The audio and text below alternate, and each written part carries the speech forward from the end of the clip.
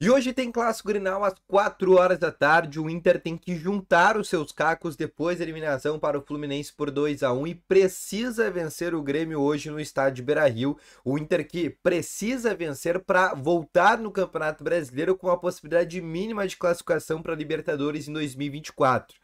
No vídeo hoje eu quero te trazer mais detalhes sobre o time que o técnico Eduardo Cudê deve mandar a campo e além disso tudo quero te trazer outras informações também. Quero te falar aqui sobre dois jogadores das categorias de base que devem subir na próxima temporada, dois jogadores que são tidos como a grande promessa das categorias de base do Internacional neste presente momento e também quero te falar sobre uma jornalista turca que revelou algo preocupante sobre o Ener Valencia e que vale o debate e a reflexão sobre essa situação, principalmente após o jogo contra o Fluminense. Então, só antes de começar esse vídeo, roda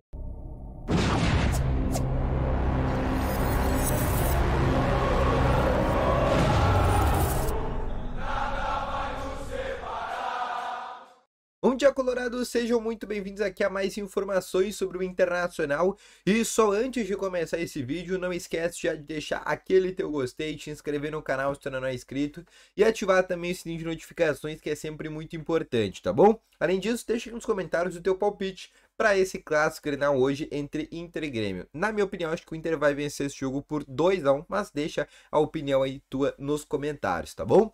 Vamos começando então aqui com as informações do Inter, falando exatamente sobre as duas equipes, tá? O Cudê ontem comandou o último treino é, no CT Parque Gigante, a última atividade. Realmente o time não deve ter muitas alterações ao que jogou na quarta-feira contra o Fluminense. A única alteração mesmo deve ser na lateral direita, a entrada do Fabrício Bustos no lugar do lateral direito Gumalo, que está suspenso, tá bom? A tendência de escalação tem Sérgio Rocher no gol, Fabrício Bussa lateral direita, aí Vitão Mercado René, aí Johnny Arangues, Maurício Wanderson na frente, Alan Patrick e Ener Valência. Essa é a escalação que o Inter deve mandar a campo contra o Grêmio às 4 horas da tarde. Já o Grêmio vem um pouco diferente em relação à última partida contra o Fortaleza no empate por 1 a 1, tá bom? O técnico Renato Portaluppi deve mandar a seguinte escalação a campo deve mandar o goleiro Gabriel Grando. Na lateral direita, João Pedro. A dupla de zaga com Pedro Jeromel Kahneman. Na lateral esquerda, Reinaldo. Aí três volantes, que são Vidia Sante, Carbadio e PP. Aí Cristaldo na frente, Luiz Soares e Ferreirinha. Essa deve ser a equipe que o co-irmão deve mandar a campo co contra o Internacional agora no estádio Beira Rio. Expectativa de 40 mil torcedores, tá bom? É, até ontem à noite, 36 mil ingressos já tinham sido vendidos, tá bom? A tendência, obviamente, agora às 4 horas da tarde, a expectativa é de chuva é, para o jogo de hoje à tarde, então pode ser que daqui a pouco tenha um pouco menos, tenha um pouco mais, vai depender, mas a expectativa, segundo a assessoria do Internacional, é de 40 mil torcedores, 36 mil ingressos já confirmados ontem à noite, não teve atualização no dia de hoje, mas acho que vai bater em torno ali de 38 a 40 mil ingressos, tá bom? Passando para mais informações, eu quero te falar exatamente sobre dois jogadores das categorias de base. E eu venho falando sobre esses dois nomes ao longo dessa temporada, porque são dois caras que se destacaram muito na categoria de base do Inter, não só na Copinha, na Copa São Paulo de Futebol Júnior, que aconteceu no começo desse ano, mas também em todo o Campeonato Brasileiro Sub-17. Enquanto no sub-20 eu não vejo nenhuma promessa grande nesse momento, nenhum jogador que a gente possa subir, cara, esse cara vai subir, ele vai arrebentar. O Inter vai vender ele por 30 milhões de euros. Hoje no sub-20 eu não vejo nenhum jogador assim. Eu vejo jogadores no sub-20 que podem ser para compor elenco, podem vir a dar certo, mas em dois jogadores da equipe sub-17 minha opinião muda. A primeira que é sobre o meio atacante, que lembra muito, muito o Alan Patrick, camisa 10 de 16 anos de idade Jogou a Copa com 15 anos, e a Copa, para quem não sabe, podia até 21 anos, e ele jogou como titular do Inter.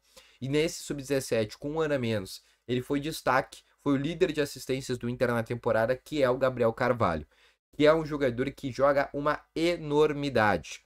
O Gabriel Carvalho é um jogador que na próxima temporada já vai fazer parte da equipe sub-20 e vai começar a treinar já no profissional, independente do técnico. E é um jogador que a tendência, o Inter tá preparando ele realmente para ser esse meio armador. É um jogador que técnica a gente sabe que ele tem, obviamente tem que pegar físico, só tem 16 anos de idade ainda, mas é um baita de um jogador, diga-se de passagem.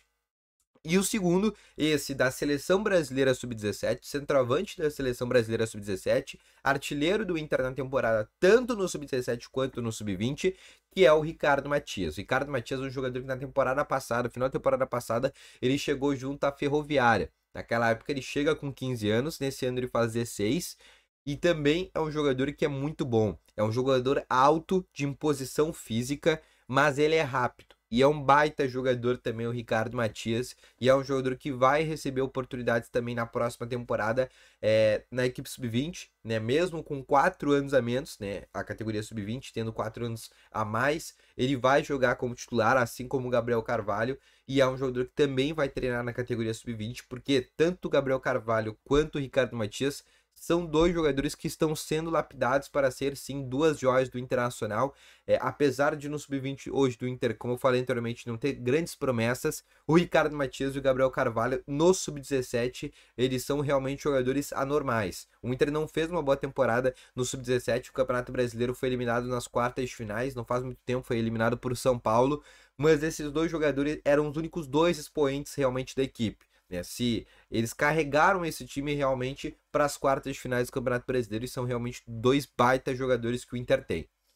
Passando de, agora, mudando de assunto, eu quero te falar aqui sobre algo que é novo, preocupante e que pode acabar no dia de hoje, que é sobre o Ener Valência. O Ener Valência contra o Fluminense, ele foi o principal responsável do Inter pela não classificação no Internacional por todos os gols que ele perdeu. Isso eu nem vou ficar aqui falando para não lembrar novamente o que todo mundo já está quase esquecendo.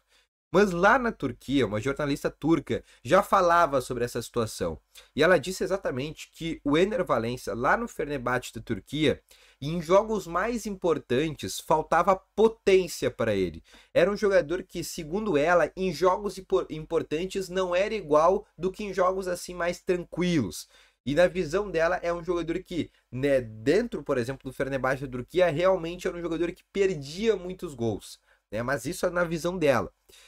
No Internacional, ele decidiu jogos e importantes. Bolívar, nas quartas de finais da Libertadores, os dois jogos, ele faz um gol no jogo de ida e dois gols no jogo de volta, ele liquida a classificação do Inter, ele que classifica o Inter para a semifinal. Nas oitavas, ele faz o gol lá em pleno Monumental de Nunes, aquele gol de cabeça, e aqui faz a falta pro gol do Alan Patrick, participa também do primeiro gol do Gabriel Mercado, naquele escanteio onde ele consegue também é, participar da jogada. Foi um jogador importante, fez um gol contra o River Plate, lá no Monumental de Nunes com 87 mil pessoas, e aqui no estádio Beira-Rio fez a falta pro Godolão Patrick pro Inter fazer 2 a 0 E acertou o pênalti também é, nas decisões ali de pênaltis. Foi o melhor pênalti, inclusive, é, de todas as batidas, de todas as 18 batidas. Só que contra o Fluminense, tanto no Maracanã, teve aquela chance que ele recebeu na pequena área do Felipe Melo, se perdeu. E no estádio Beira-Rio, não apareceu no jogo. Então, fica esse pé atrás realmente, se o que ela fala realmente tem procedência, se em jogos importantes ele some. Eu tava vendo algumas opiniões de alguns equatorianos, né? Porque o Ener Valencia é tido como é, um cara muito bom dentro do Equador, é o grande jogador da seleção equatoriana, e eles não falam muito isso. Realmente, eles falam que é, na Copa do Mundo, por exemplo, ele participou, fez gols, mas é uma opinião bem diferente, assim, porque segundo essa jornalista turca, lá no Fenerbahçe ele sumia em jogos importantes e querendo ou não contra o Fluminense ele acabou, não digo pipocando, mas sumindo do jogo e tirando realmente a classificação no Internacional, caso ele tivesse feito aqueles gols, o Inter teria classificado tranquilamente para a final da Libertadores. Mas fica esse debate, deixa aqui nos comentários também se tu acha que o Valencia é um jogador que perde potência, assim como ela disse em jogos importantes, ou se é um jogador que daqui a pouco realmente só estava num dia ruim, por exemplo, que foi o caso do jogo contra o Fluminense. Mas óbvio, se hoje ele fizer gols, hoje tem um jogo importante com o Clássico Granal, se ele fizer gols ou não, vai ajudar a corroborar com essa tese que trouxe essa jornalista turca, tá bom? Então, esse foi o vídeo, espero que tenham gostado. Até o pós-granal. Valeu, falou e foi!